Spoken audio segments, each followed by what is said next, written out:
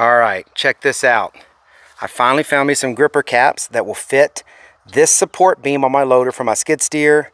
These are five inch ones, which fit this four and three quarter inch inside diameter pipe that's on this skid steer loader. You just push these in, tighten that wing nut a couple times. Now, can't get it off. I put one on each side, keep my chains in there, tools, whatever you need. Great storage.